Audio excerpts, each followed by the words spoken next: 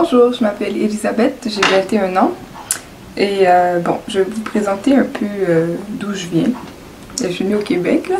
mais qu'est-ce que je veux dire par d'où je viens? C'est euh, je viens d'une famille catholique chrétienne. on allait un peu à l'église, mais pas très souvent, donc on n'était pas vraiment pratiquants. Et puis, ça fait environ trois ans qu'avec la famille de mon père, on vient à l'église de Portail. Là, en janvier 2011, j'ai pris une résolution. Ça a été de me rapprocher de Jésus. Ma résolution, c'était vraiment en 2011, il faut que je sois plus proche de Jésus. Puis, euh, c'est à la Pâque 2011 que j'ai eu comme euh, des, je peux dire des moments d'illumination, si je peux dire ça comme ça. Euh, c'était un vendredi saint à l'église Nouvelle Vie on était tous euh, rassemblés, euh, plusieurs églises, euh, à l'église Nouvelle Vie pour recevoir un, grand message. Puis moi, ce que j'ai retenu de cette soirée-là, c'est que c'est là que j'ai vraiment compris que Jésus était mort à la croix pour nous. Là, je vous dis cette phrase-là, peut-être ça vous dit rien, peut-être ça vous dit quelque chose, mais c'est quelque chose de l'entendre puis de le comprendre à l'intérieur de ça, c'est quelque chose de totalement différent. Donc, euh, j'avais souvent entendu cette phrase-là, Jésus est mort à la croix pour vous. Mais qu'est-ce que ça voulait dire? Je ne sais pas pourquoi, mais cette soirée-là, ça m'a vraiment cliqué. Aujourd'hui, c'est un grand jour pour moi. J'ai décidé de me faire baptiser. Euh, qu'est-ce qui m'a fait euh, faire prendre cette décision-là Encore une fois, oui, j'y pensais pendant un an, mais qu'est-ce qui m'a fait cliquer? Qu'est-ce qui m'a fait illuminer? C'est le message de Pasteur Maxime, le pasteur jeunesse. Euh, son message, c'était Tepagim. Son message qui a été annoncé le vendredi 17 août 2012, pardon, qui disait Tepagim de suivre Jésus, Tepagim de devenir son disciple. Dans le fond, à ce vendredi-là, c'est là que j'ai réalisé, écoute, ça fait un an que tu penses à te faire baptiser, pourquoi ça serait pas le temps maintenant? C'est là que je me suis dit, waouh, aujourd'hui, il faut que je prenne cette décision-là de suivre Jésus.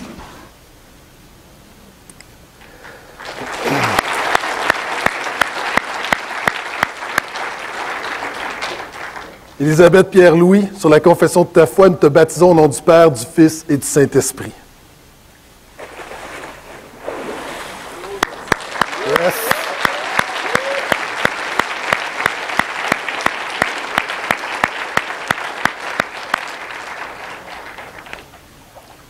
Et, euh, et, depuis mon jeune âge, j'ai grandi dans une famille chrétienne. Et, euh, j'ai toujours été à l'église parce que parce que mes parents y allaient et je prenais Dieu pour une simple habitude. Mais depuis l'âge, mais depuis l'âge de 19 ans, il y a eu un déclic dans ma tête et dans mon cœur. Dieu est devenu le sauveur de ma vie. Et aujourd'hui, je fonde ma vie sur sa parole.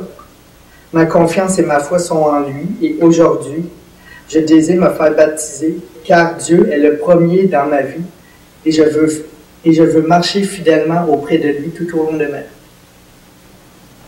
Euh,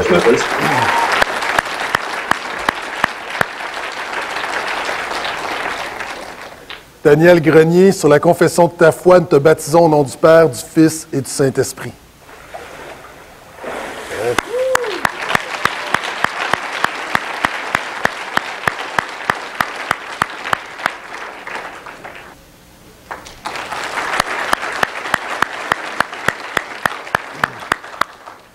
Mon nom est José Mathieu, originaire d'Haïti. Je suis arrivé au Québec euh, à la fin des années 80, au milieu de mon adolescence. J'ai grandi dans une famille chrétienne évangélique. Depuis mon enfance jusqu'à l'âge de 19 ans, je n'ai connu rien d'autre que l'Église chrétienne. Vers le début de la vingtaine, je fréquentais l'Église rarement, une fois par mois ou une fois tous les deux mois pour ensuite diminuer à une fois par année.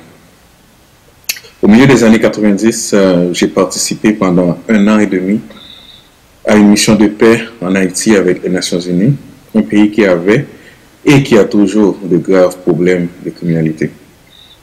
En prenant du recul, je peux témoigner aujourd'hui de l'amour de Dieu à mon égard, même en étant déserteur.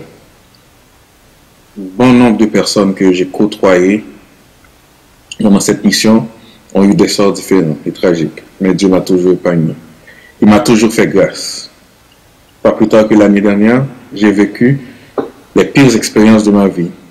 Le diable a essayé de m'atteindre par toutes les façons et sur tous les fronts, personnel, professionnel, social. Mais la crainte de l'éternel m'a permis d'être avec vous aujourd'hui. Je serai peut-être en prison, même dans un hôpital psychiatrique, ou même décédé. Bon nombre de fois, j'aurais pu donner raison au diable, mais j'ai pris force dans les paroles de l'Évangile. L'éducation chrétienne que j'ai reçue de mes parents m'ont grandement empêché de causer l'irréparable. L'Éternel ne m'a pas abandonné, même si je lui avais tourné le dos. Aujourd'hui, c'est à mon tour de lui rendre gloire, de témoigner de son amour envers moi, qui est sans condition. Il fait la confession de foi, de lui servir jusqu'à la mort, selon les principes de l'Évangile, en me faisant baptiser aujourd'hui.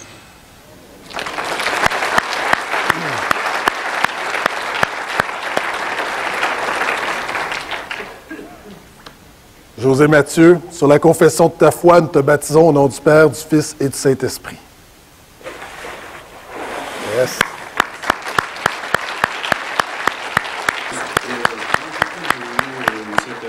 de Dieu depuis mon enfance, mais je n'avais pas vraiment pris les choses au sérieux.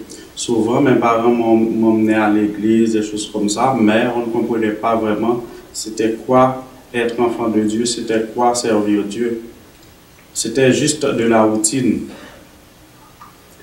Euh, je me disais souvent, bon, je ne suis pas un mauvais gars, je suis un gars sensible, je, suis, je déteste l'injustice, des choses comme ça. Pour moi, je pensais que ça pouvait m'amener, ça pouvait m'ouvrir la porte du ciel. Et pourtant, je me trompais énormément. Je me suis rendu compte, sans avoir, sans Jésus-Christ, on ne peut pas avoir accès à la porte du ciel. Euh, ce que j'ai fait, j'ai décidé de prendre un peu de recul. J'ai commencé à faire des études bi- bibliques tout seul. Je me sens vraiment euh, euh, euh, interpellé par ce verset, Jean 3, verset 16. Car Dieu a aimé le monde qu'il a donné son Fils unique afin que quiconque croit en lui ne périsse point, mais qu'il ait la vie éternelle. Je n'avais pas bien compris comment Jésus est venu sur terre pour moi, pour que je puisse avoir la vie, la vie éternelle. Ce pas des choses que j'avais bien compris. J'ai lu, j'ai lu, j'ai demandé à des amis, c'est quoi, des amis qui étaient déjà chrétiens, ils m'ont expliqué. Et j'ai une amie qui m'a qui m'a proposé de venir à l'église, à l'église euh, ici le portail.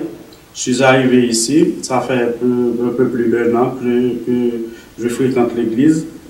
Et puis c'est comme ça, donc euh, je me sens vraiment euh, euh, euh, dans mon assiette, si je peux m'exprimer ainsi. Je me sens vraiment dans mon assiette. Et puis, mais là encore, à chaque fois que je dois prendre une décision pour me faire baptiser, il y a toujours petit quelque chose.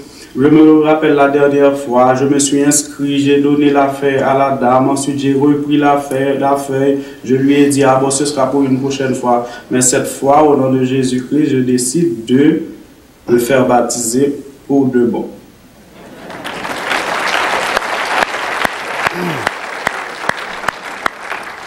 Philippe Auguste Fra- Franz, sur la confession de ta foi, nous te baptisons au nom du Père, du Fils et du Saint-Esprit.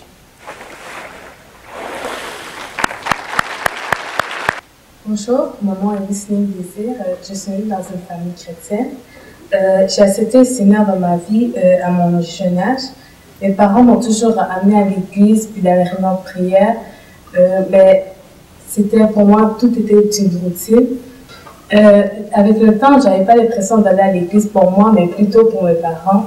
Euh, je me détournais du Seigneur. euh, J'étais corrompue. C'est comme si je tombais j'avais plus d'intérêt pour le Seigneur. Mais après, ben, le Seigneur, il m'a, il m'a relevé par les chants, par toutes sortes de manières. Il, il- m'a relevé, il me disait, t'inquiète pas, je suis là pour toi, euh, détourne-toi pas de moi. Je me rappelle même que quand j'étais jeune, ma mère me disait, quand tu entends ton nom, puis il n'y a personne autour de toi, dis oui Seigneur. C'est, pour moi, c'était un signe qui, qui disait, oublie-moi pas, parle-moi. Puis, tu sais, ça, ça m'a, de cette manière-là, ça m'a relevé, ça m'a dit, oh, le Seigneur est toujours là pour moi. Puis, pendant ce moment-là, euh, il y avait une chanson qui est rentrée dans ma tête. Euh, la chanson, il une phrase qui dit Ne crains je t'aime, car je suis avec toi, promesse suprême qui soutient ma foi. Et à ce moment-là, je me suis dit Non, il faut que je change, il faut que je m'apporte plus de Dieu. Donc, euh, j'ai parlé à mes soeurs, puis mes soeurs ont dit, ouais, eux aussi, ils voient que, même s'ils sont baptisés, ils ont vu que, tu sais, leur foi, elle avançait plus. Puis, donc, on a décidé depuis trois ans de changer d'église. On, ça fait trois ans qu'on est au portail. Puis, euh, le Seigneur a toujours été, il m'a jamais laissé, malgré que moi, je me détournais de lui, lui, il était resté avec moi. Euh, je remercie, je suis là ici pour me baptiser aujourd'hui parce que je veux remercier le Seigneur qui m'a jamais laissé et qui a rallumé la flamme qui était perdue, qui, a, il a rallumé la flamme dans mon cœur que je puisse le, servir. Car c'est lui mon meilleur ami, il s'est jamais détourné de moi. Je le remercie pour ça aujourd'hui.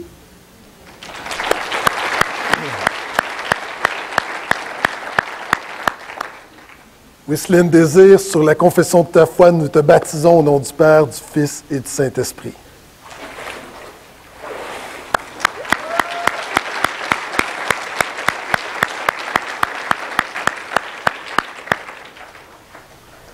Bonjour, je m'appelle Sarah Tourangeau et je vais vous expliquer un peu brièvement mon cheminement avec Dieu. En fait, euh, j'ai eu la chance de naître dans une famille chrétienne, puis euh, c'est en partie ma mère qui m'a emmenée au Seigneur. Euh, en fait, mes parents m'avaient inscrit à un camp chrétien, puis c'est à l'âge de 11 ans que j'ai décidé donner ma vie au Seigneur. Mais euh, avec du recul, je réalise que c'était peut-être pas aussi sincère que ça l'est aujourd'hui. Parce qu'en fait, ça fait maintenant plusieurs années que je suis capable de dire que j'ai vraiment une relation qui est sincère, vraie, puis personnelle, avec Dieu. Puis je l'aime, je veux le servir, puis je, sens qu'il y, a beaucoup de choses euh, pour moi sur ma vie. Puis, euh, ça fait aussi longtemps que je pense à me faire baptiser, mais c'est juste que je le remettais toujours à plus tard. Euh, je repoussais toujours la date. Puis euh, là, à un moment donné, je me suis dit non, là, Sarah, tu dois le faire. C'est important, c'est écrit dans la Bible, c'est un ordre. Puis je me suis dit, je veux le faire en même temps parce que je veux obéir à Dieu. Puis également parce que je sais que je veux être capable de mettre en pratique ce que Dieu me demande de faire maintenant. Puis en même temps, ben, en faisant le baptême ce matin, c'est comme si je démontre à Dieu que ce qui, me met à cœur, je veux vraiment le faire réellement. Donc euh, voilà, je pense vraiment que en faisant euh, cet acte aujourd'hui, c'est ce que Dieu veut et c'est vraiment ce que moi je veux euh, pour ma vie. Merci.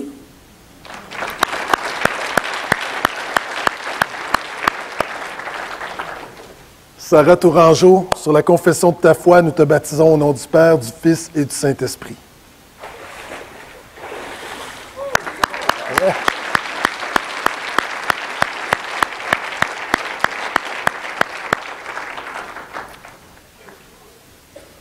Donc, euh, bonjour, mon euh, Brun, je suis âgé de 30 ans et euh, je peux dire que ça fait 30 ans quand même que je suis un chrétien. J'ai le grand privilège d'être né de parents chrétiens, donc dans une famille chrétienne. Donc, moi, en tant que jeune enfant chrétien, ben, j'ai été très impliqué dans les activités, c'est le concours d'école du dimanche, dans les pièces de théâtre et tout ce qui s'ensuit. cependant, pendant ce moment-là, je, venais quand même à l'église les dimanches.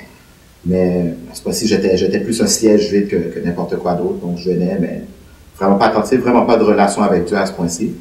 Euh, pour faire une petite anecdote, euh, ce que je pourrais définir comme la conversation la plus bizarre que, j'ai jamais eu de ma vie, euh, à un certain point, j'étais dans un bar. Je me suis séparé de mes amis pendant une minute pour aller m'acheter un verre et il y a un inconnu, totalement inconnu, que je connaissais pas, qui, qui est venu me parler et il m'a abordé sur des sujets très différents, euh, des choses illégales, blablabla, ainsi de suite, on se parle. Et à un moment donné, il se tourne et me dit Es-tu chrétien? Chose qui, m'a pris par surprise. J'étais comme C'est une bizarre tournure de conversation. Et bon, pour faire une longue histoire courte, à la fin de la conversation, il m'a posé la question, il me dit, n'as-tu pas peur de perdre ton salut? Chose qui, qui m'a totalement gelé. Et aujourd'hui, je comprends un peu que c'était peut-être un clin d'œil de Dieu pour dire, hey, euh, c'est quoi, euh, tu t'en vas dans la mauvaise voie, peut-être retourne dans la bonne voie. Chose que, un avertissement que j'ai pas écouté, dans le fond, ce qui m'a mené à, je dirais, peut-être les pires années de ma vie, un moment, euh, beaucoup de déception de la part de mes amis. Euh, j'étais très malheureux, j'étais, je me suis mis dans, un petit coin, j'étais vraiment perdu, disons, à ce point-ci. Mais euh, c'est dans des moments comme ça que le Seigneur vient te chercher. C'est quand le Seigneur t'abandonnera jamais. Et bon, avec mes parents qui continuent à me parler de l'Évangile et ainsi de suite. Et ce qui fait qu'aujourd'hui, je me retrouve ici. Et je suis finalement prêt à accepter le Seigneur à 100 000 à.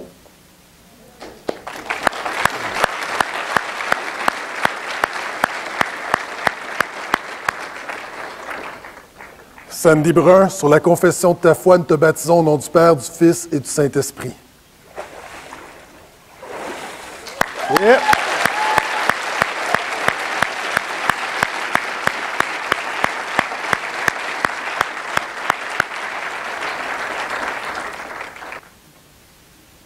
Je m'appelle Sylvain Godin.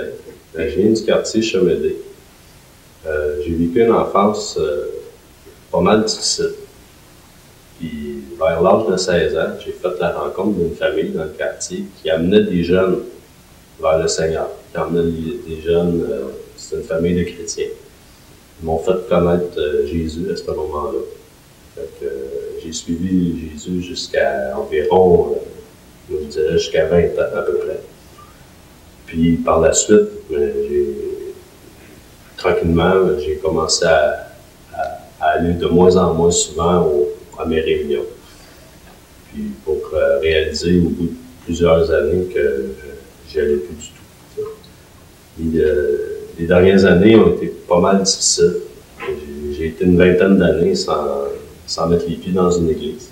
Euh, le mois de mai dernier, j'ai rencontré un gars euh, dire un samaritain, euh, en langage chrétien. Euh, le gars n'était pas vraiment chrétien, mais avec des bonnes valeurs, tout ça. Puis lui m'a fait rencontrer une, personne qui fréquente l'église, une, une, dame qui fréquente l'église de Portail, que j'ai accompagnée. Et euh, depuis, depuis mai dernier, j'ai commencé à, à, venir avec elle. Au début, je venais avec elle. Après ça, je suis commencé à venir euh, par, par, mes propres moyens. Et euh, depuis, depuis ce temps-là, ma, vie a beaucoup changé. Euh, j'ai arrêté de, de, de prendre l'alcool, j'ai arrêté de, de j'ai arrêté beaucoup de choses qui étaient néfastes à ma vie comme ça, sans, sans vraiment avoir eu à faire des efforts. Et euh, j'ai expérimenté aussi le pardon envers, euh, envers certaines personnes. Et euh, c'est un peu pour ça aujourd'hui que je décide de me faire euh, baptiser. Parce que je réalise que Jésus dans ma vie, euh, c'est peut-être la plus belle chose qui m'est arrivée de, de toute ma vie.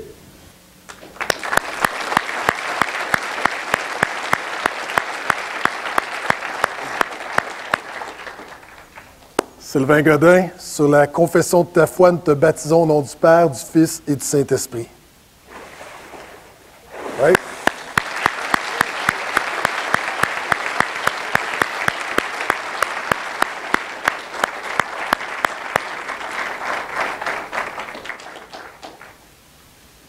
Bonjour, euh, je m'appelle Chanie Leroy, j'ai 20 ans et euh, je vais vous parler brièvement de mon cheminement avec Dieu.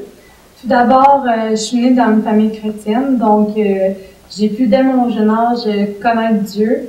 Et euh, par l'entremise de l'Église et de ma famille, j'ai pu aussi avoir de bonnes valeurs, d'acquérir de bonnes valeurs qui me seront pour le reste de ma vie. J'allais à l'Église à tous les dimanches et dès mon secondaire, j'ai commencé à y aller à tous les vendredis. Euh, c'est vraiment euh, vers la fin de mon secondaire et durant mon cégep que je me suis éloignée de l'Église, euh, de mes amies chrétiennes et aussi de ma relation avec Dieu. J'ai commencé vraiment à délaisser tout ça lorsque j'y retournais, c'était vraiment par routine, parce que tous les dimanches, avec ma famille, on allait à l'église, et pour ne pas décevoir mes parents. Durant cette période-là, je voyais pas que j'étais perdue sans Dieu, parce que pour moi, j'agissais comme une personne euh, très normale, j'étais correcte, tout ça. Je prenais pas de drogue, euh, je, je buvais pas non plus. Donc pour moi, je me sentais pas perdue. Mais malgré tout ça, Dieu euh, m'a protégée, il m'a gardé dans ses voies parce que il a mis sur mon chemin des amis chrétiennes qui m'incitaient toujours à revenir à l'église. Et euh, j'avais aussi des modèles, euh, mes grands frères et mes sœurs qui allaient constamment à l'église. Donc, je suis retournée peu à peu. Et j'ai de nouveau accepté Dieu dans ma vie. Euh, j'ai décidé de me faire baptiser aujourd'hui parce que pour moi, le baptême, c'est pas seulement une nouvelle que, que je fais devant tout le monde. C'est vraiment une décision que j'ai prise, que j'ai réfléchi aussi. C'est une signification pour moi importante. Et un peu avant la retraite euh, pour les jeunes adultes, j'ai vraiment fait une réflexion sur ma propre vie et euh, j'ai vraiment réalisé l'importance de Dieu dans ma vie et j'ai décidé euh, de lui donner et vraiment euh, de pouvoir cheminer avec lui le reste de, mes jours. Et euh, je veux pas perdre une minute de plus avec Dieu. Et c'est pour ça que j'ai décidé de faire baptiser aujourd'hui, parce que je veux vivre la vie éternelle à ses côtés.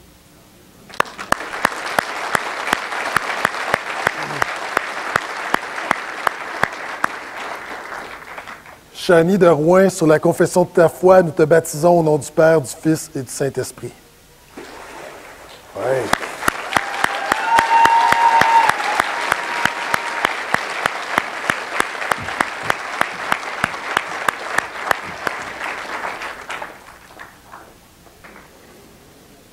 Mon nom est Patricia Jeune et euh, j'ai eu le privilège de, de naître dans une famille chrétienne.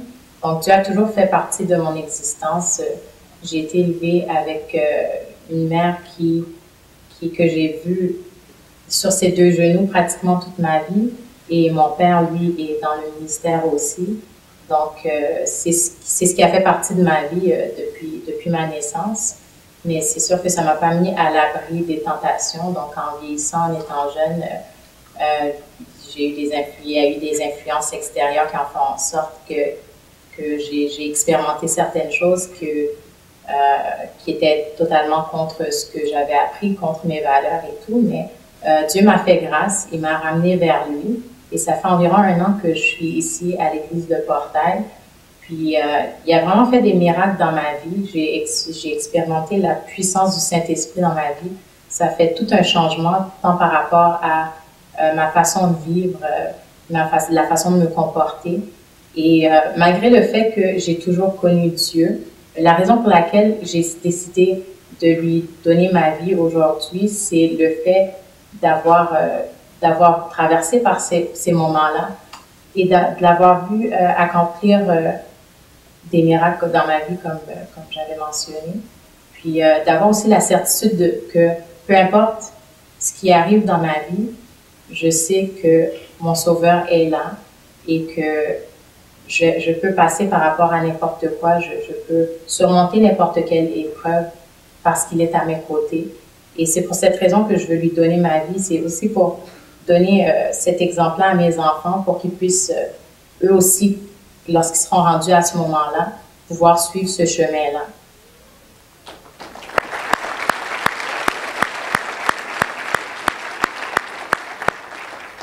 Patricia Jeune, sur la confession de ta foi, nous te baptisons au nom du Père, du Fils et du Saint-Esprit.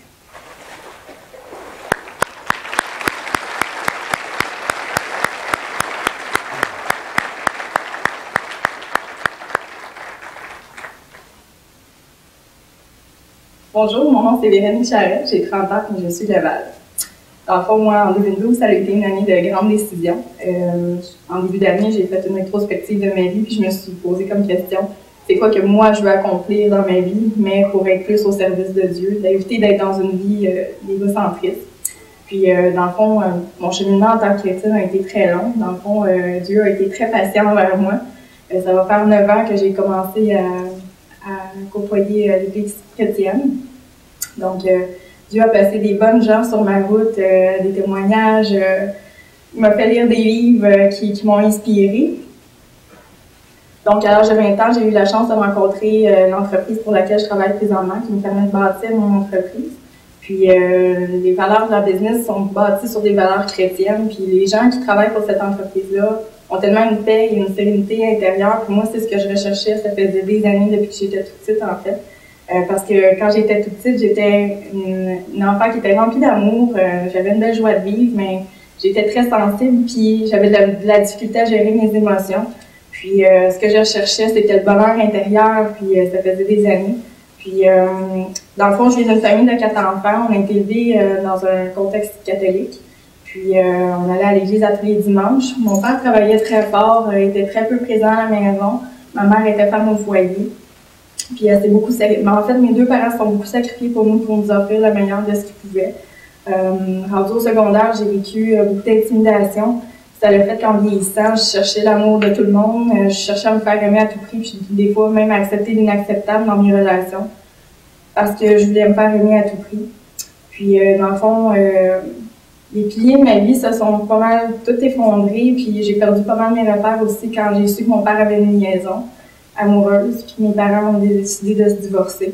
à ce moment-là, moi, je suis devenue un peu le soutien de la famille parce que ma mère était en dépression, mes deux petites sœurs plus jeunes que moi, ben fallait qu'ils suivent un exemple. Puis moi, j'ai décidé de, de prendre le fardeau de leur vie et de la mienne sur mes épaules parce que là, je me suis détournée de Dieu. Puis j'ai dit, regarde, tu as voulu m'envoyer cette, euh, cette adversité-là. Ben, je vais reprendre ma vie en main. Puis là, de 18 à 20 ans, ben, je croyais plus en rien. Je croyais seulement en moi-même. ça a été très lourd, cette période-là, dans ma vie. Jusqu'à un point où je me suis demandé pourquoi moi j'étais en vie, puis pourquoi je vivais ces choses-là.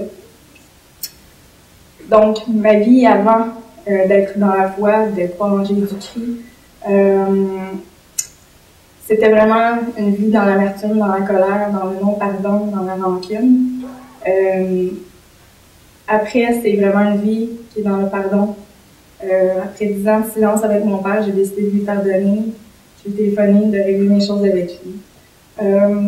ça aurait été facile pour moi aussi de vivre tout ça comme étant une victime par rapport à ce que j'ai vécu avec, euh, dans mes relations personnelles ou dans mes relations avec ma famille, parce que j'ai vécu beaucoup de trahison. J'ai vécu de la violence euh, psychologique, de la violence physique. Ça a été facile pour moi de m'en sortir comme une victime, mais j'ai décidé d'en être victorieuse. Euh, avant, je voyais les épreuves de la vie comme étant des barrières, des limites. Je vivais beaucoup de choses dans la douleur. J'étais beaucoup centrée sur moi, alors qu'aujourd'hui, j'ai décidé d'être d'avoir le don de, soi, de m'élever en tant que personne pour pouvoir inspirer plus de gens autour de moi. Donc, euh, la raison qui a fait que j'ai décidé d'être baptisée, c'est vraiment pour euh, moi avoir une vie meilleure, d'avoir des meilleures fondations pour ma propre vie, et pour pouvoir aider plus de gens autour de moi, puis d'avoir une vie de dévotion.